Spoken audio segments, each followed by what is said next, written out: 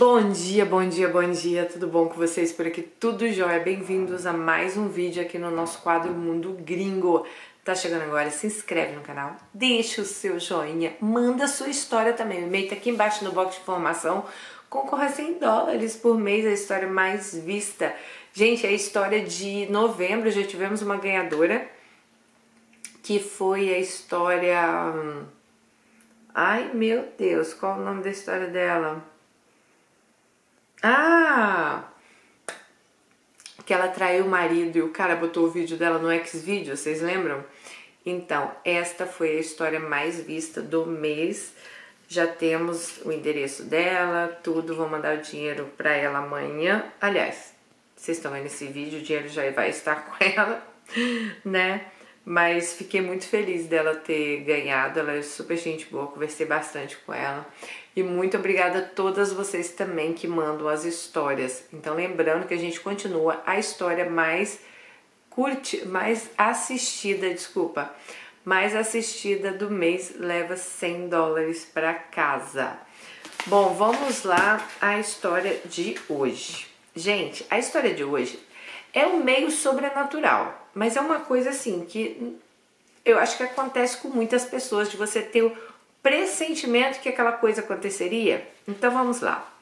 Dani, hoje eu vim contar minha história. Antes de começar, quero parabenizá-la pelo lindo trabalho. Conheci seu canal há três anos, desde então não perco nenhum vídeo. Admiro sua empatia, a maneira como você comenta as histórias. Sempre muito sensata, nos ensinando a ser fortes e enfrentar o mundo. Obrigado por dedicar seu tempo e mudar as nossas vidas. Obrigada a vocês por me dar essa oportunidade de entrar aí na vida de vocês, né? Então, é, eu falo assim, vocês me dão a oportunidade de entrar tão intimamente né, na vida de vocês. Dani me chama Alice, mora no Nordeste. Não irei comentar minha infância, pois a história é longa e repleta de traumas. Mas quem sabe um dia eu consiga contar as consequências que os filhos carregam de relacionamentos abusivos dos pais. Enfim, 2019 eu me casei. Meu marido tem uma família enorme, com muitos irmãos. Para vocês terem uma ideia, são 40 sobrinhos. Dentro desses sobrinhos, existe alguns com a idade próxima até do meu marido, outros inclusive mais velhos. Bom, após um ano e meio de casado, decidimos comprar um sítio que ficava a 8 quilômetros da nossa cidade. Estávamos cheios de plano e com isso iniciamos a obra do terreno. Depois de aproximadamente três meses de aquisição do sítio, resolvemos fazer a entrada. A gente construiu um muro para o assentamento do portão e colocar uma placa com o nosso tão sonhado, uma placa com o nome, né, do nosso tão sonhado sítio. Meu esposo, vou chamá-lo de João, combinou com o irmão Marcos e com o sobrinho Tiago para que eles viessem é, fazer a obra. Ficou combinado então que na quarta-feira Marcos e Tiago fariam o trabalho. No dia combinado, Marcos e Tiago foram para o sítio iniciar a obra. E no final do dia, meu esposo, após sair do trabalho, decidiu ir até o sítio para ver o andamento do serviço. Meu esposo, ao sair de casa, resolveu ir ao sítio com a moto de 600 cilindradas.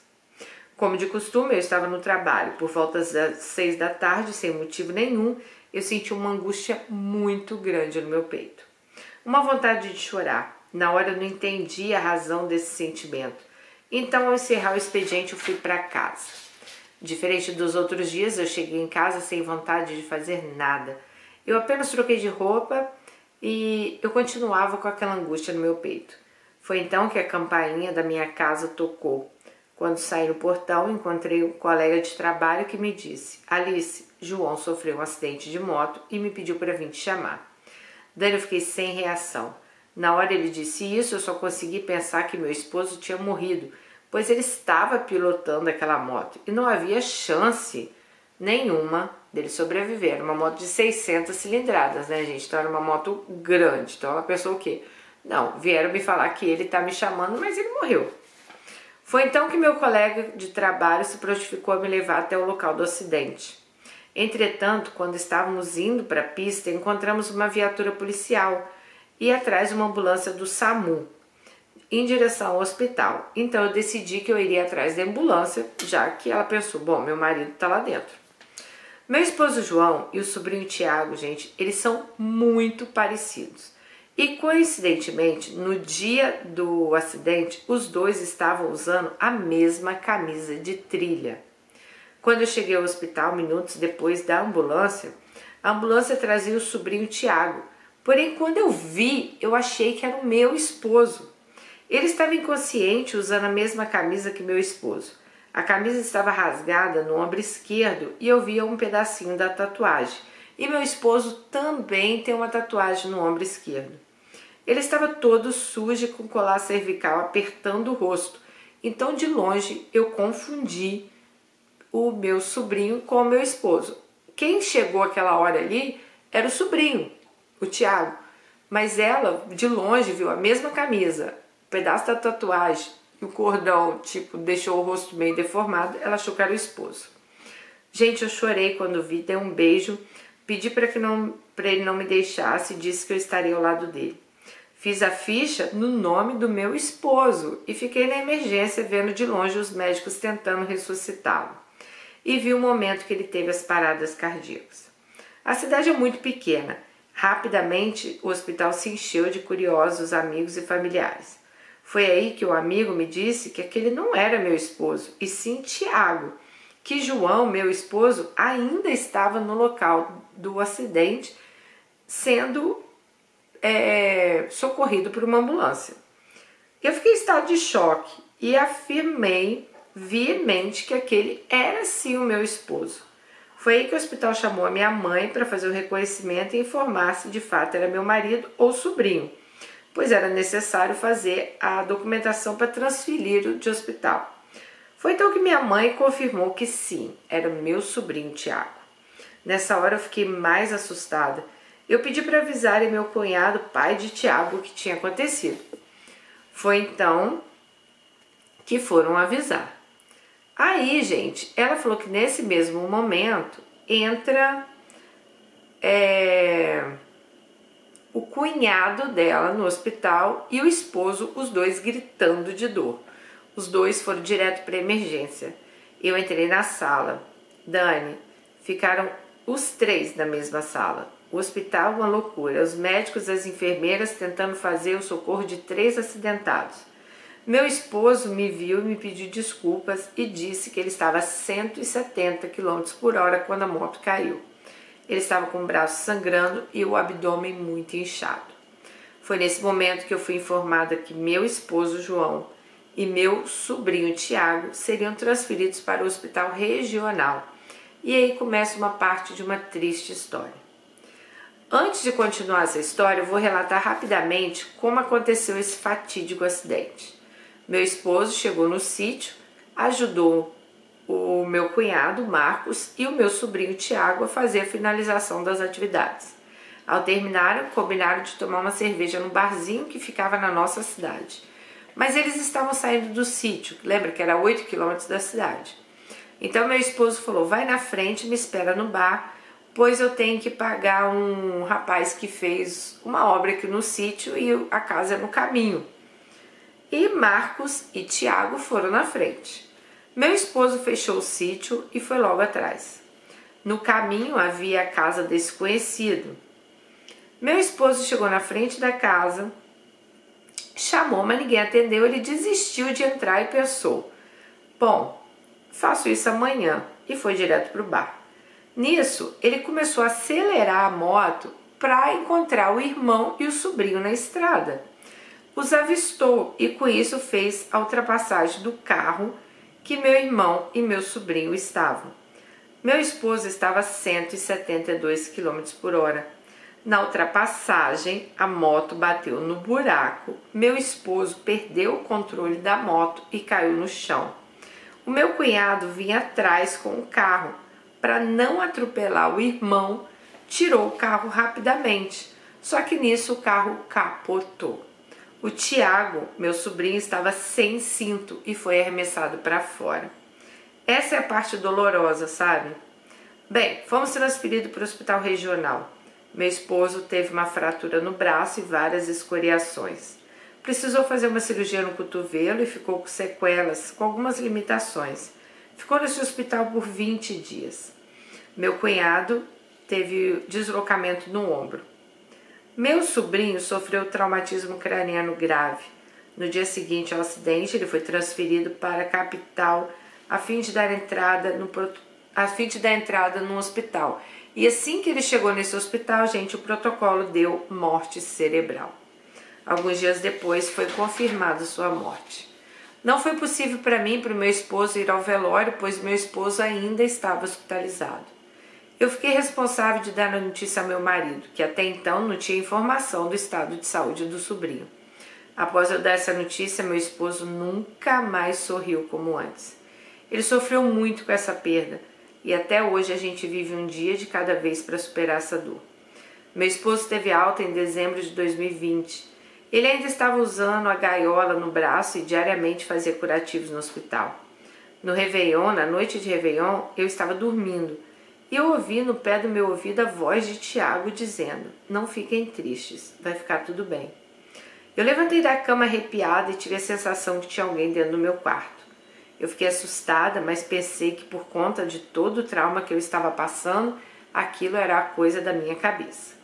Foi então que em janeiro eu dormi e tive um sonho estranho. Sonhei com Tiago.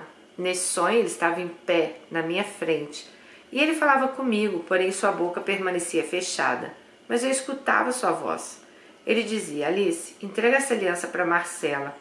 Após ele dizer isso, eu caminhava até a estante e nessa estante tinha uma caixinha com um par de alianças vermelhas. Acordei no dia seguinte e ignorei esse sonho. Marcela, garota do sonho, era namorada de Tiago. Bom, na última semana de fevereiro tive outro sonho. Dessa vez, ao dormir, eu tive a sensação que eu estava caindo e logo em seguida eu comecei a sonhar. Gente, eu tenho tanta essa sensação que eu tô caindo durante o sono que eu chego a acordar assim, assustada. Vocês já, já sentiram isso?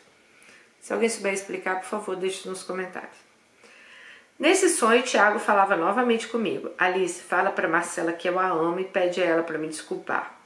Ele continuou falando e disse: Tem uma data que a gente comemorava juntos em março. Entrega essa aliança para Marcela. Quando ele disse isso, eu andei até a estante, a mesma estante do sonho que eu tinha tido há um mês atrás, e tinha uma caixinha vermelha. Então eu abri e tinha uma aliança de prata dentro da caixinha. Então não era uma aliança vermelha, era a caixinha vermelha. Depois ele repetiu para mim que eu desse o recado para Marcela. Diga que a amo muito e que a para ela me perdoar.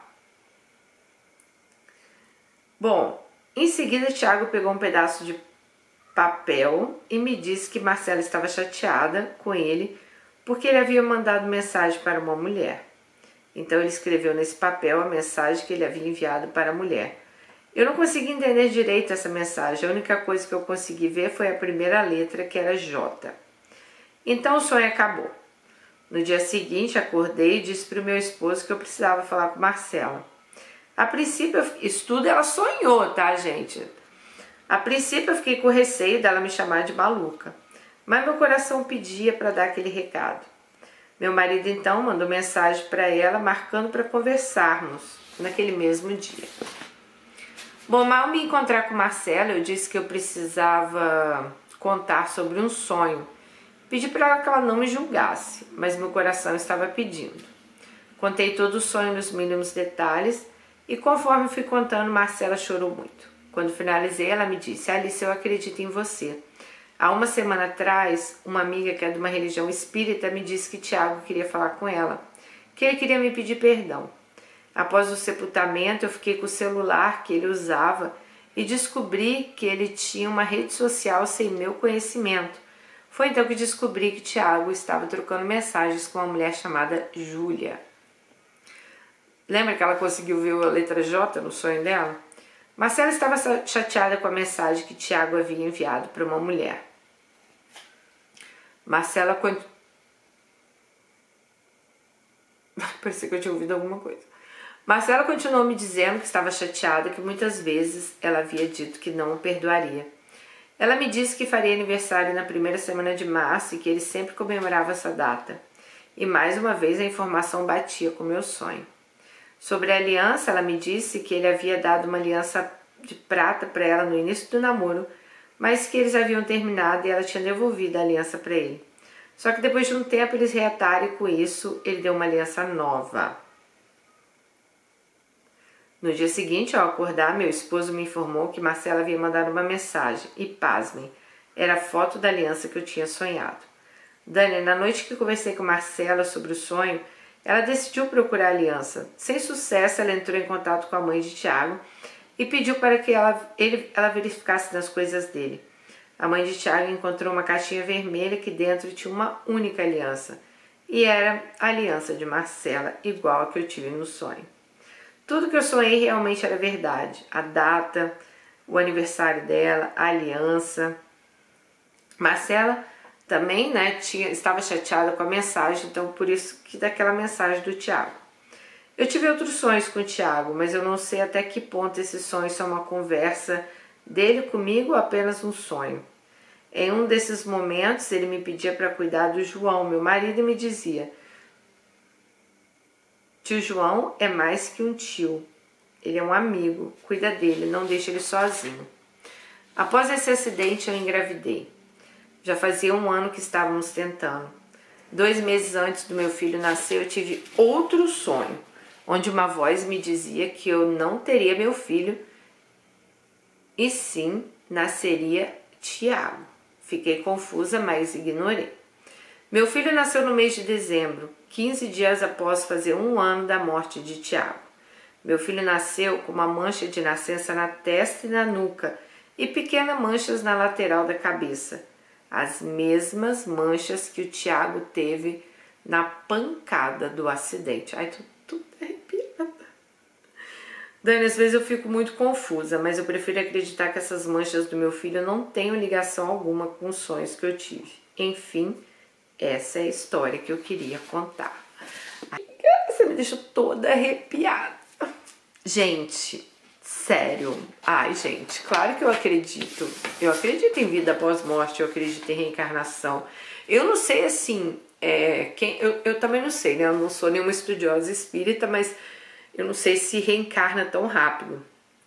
Mas a questão das manchas, que seu filho nasceu no mesmo lugar que o Thiago levou uma pancada a gente tem visto aí na internet, de vez em quando aparece crianças contando de vidas passadas delas, né?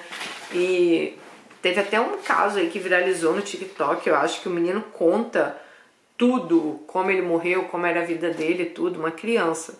Então, pode acontecer. Dizem que algumas pessoas também têm flashes de vidas passadas, e eu acredito que pode acontecer sim. Porque eu acredito que nós somos reencarnação. Eu não acredito que a gente morre e a vida acaba, não. Acaba ali o nosso corpo, mas eu prefiro acreditar que tem uma continuação, que temos né, o nosso espírito, que a gente possa voltar ou não, né? Diz que os espíritos mais evoluídos não voltam, que quem volta muito são os espíritos que têm que evoluir, que estão em evolução. Mas o que, que vocês acharam dessa história, gente? Eu super acredito, sério. Eu tive um sonho uma vez eu acho que eu já contei alguns vídeos desse sonho meu, mas né, não é todo mundo que acompanha todos os vídeos. Quando eu era adolescente, gente, eu sonhei que é, alguém falava assim, eu sonhei, eu não lembro quem falava para mim, mas no meu sonho, a minha mãe, eles falavam assim, a sua mãe vai morrer dia 27 de setembro. Gente, já falei algumas vezes aqui que eu tinha pavor de morte, né? Assim, tem até uma doença para as pessoas. Tem até uma doença, tem até um nome para isso, quer ver? É, pessoas que têm muito medo da morte, quer ver? É, eu tenho certeza que eu era uma dessas. Olha, se chama tanatofobia excesso de medo da morte, né? Na tanatofobia. Eu falo disso por quê? Porque, gente, quando eu era criança, se falasse para mim que o vizinho do vizinho do vizinho do tio do vizinho do amigo morreu, eu, nossa, eu nem dormia. E eu ficava pensando que eu ia morrer e que tudo ia acabar, que eu ia entrar num buraco negro e tudo ia acabar. Eu não sei porquê, eu tinha essa percepção para mim. Fora que eu morria de medo de gente que morreu, né? Tipo assim, não podia falar pra mim, Ah, não, morreu um artista, fulano morreu, eu vi na televisão, pronto. Fulano ia me visitar à noite. Eu, eu, gente, eu tinha muito medo da morte, muito medo da morte de morrer, muito medo dos outros morrer, muito medo de quem eu amasse morrer. Então, assim, eu tenho certeza que em algum momento da minha vida eu tive esse tanatofobia aí. É, mas também isso passou depois que meu pai morreu, com um sonho também que eu tive com meu pai, falando que a morte, tal, tal, tal, não era para eu ter medo, não sei o que, e nunca mais tive medo. Então passou ali. Mas até os 17 anos eu era assim. Só que uma vez eu sonhei, não vou lembrar bem a, a minha idade que eu tinha, mas eu sonhei que alguém falava assim: sua mãe vai morrer dia 27 de setembro. Gente, naquele ano, quando chegava o mês de. Aliás, eu não sei se eu falava dia 27. Não, sua mãe vai morrer em setembro. É, não falava o dia. Naquele ano, chegou setembro, nossa, eu fiquei desesperada, porque eu tinha certeza que minha mãe ia morrer. Aí não morreu. Aí tá, esqueci o assunto. O ano inteiro. Quando chegava setembro de novo, o assunto vinha na minha cabeça. Aí passava também nunca mais. E isso foi se passando os anos e eu esqueci, né? E a minha mãe morreu em setembro. Vocês acreditam? Minha mãe morreu dia 26 de setembro. Então, assim, cara, foi assim, surreal para mim, sabe? E quando a minha mãe morreu, eu lembro, eu lembrei perfeitamente do sonho que eu tinha tido há uns anos atrás, né? Não, não era um sonho que eu tinha tido aquele ano. E a minha mãe, ela realmente, ela acabou indo em setembro. Ai, se é premonição, que, que não sei, gente, mas que foi, que aconteceu, aconteceu, sabe? Então, assim, eu acredito muito nessas coisas. Eu acredito, igual eu falei para vocês, né? Eu não sou nenhuma estudiosa do, do espiritismo, assim, mas pode ser, pode ser que seja o espírito do Tiago, né? O, ele vinha com as mesmas manchas. Acontece também, às vezes, de filhos ver com a mesma mancha. A Melina, ela tem uma mancha nas costas que toda a família do Bruno tem entendeu? É uma manchinha pequenininha. E toda a família dele tem. O Bruno tem, as irmãs têm. É incrível, cara. E vem no mesmo lugar, sabe? O Bruninho não tem, mas a Melina tem. Eu acho até bem assim, sabe? Bom, mas essa é a história de hoje. Eu imagino assim que seu esposo, você falou que nunca mais viu ele sorrir, porque eu acho que indiretamente ele deve sentir uma certa culpa, né, por ele ter cortado é, no buraco, tal, tal, tal, tava correndo e o carro bate, capota ali pra não ir em cima da moto dele.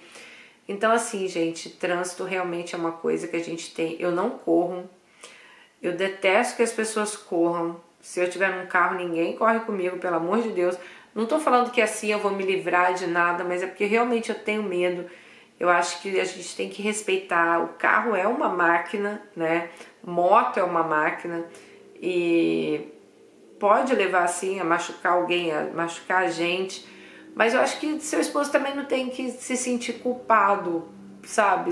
É, sei lá, aconteceu, né? Um acidente aconteceu não é que ele queria, ah, eu vou ali, vou bater naquele buraco para eu capotar, pro, pro carro do meu irmão vir atrás e capotar, não. Mas eu imagino que dentro dele deve se sentir essa culpa assim. E questão lá na hora que você chegou no hospital, eu fico imaginando, você vê, achar. E realmente, gente, é.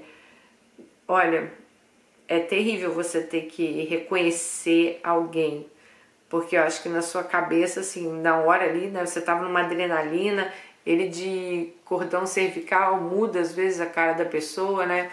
Eu imagino o desespero e talvez depois o alívio que você teve de não ver, ver que não era ele. Mas na hora do estresse ali, eu tenho certeza que a gente fica com muito assim, é, muita adrenalina, né? O dia que a minha mãe faleceu, o meu pai não, que ele faleceu no hospital, e dormindo em coma. Minha mãe também, né? Faleceu no hospital em coma. Mas no dia que a minha mãe morreu, como não tinha ninguém no hospital na hora que ela morreu, que eu acho que foi 5 horas da manhã, meu irmão tinha saído para buscar umas roupas para ela. Foi nesse momento que ela acaba falecendo. Quando eu e meu irmão chegamos no hospital, gente, a gente teve que reconhecer o corpo da minha mãe.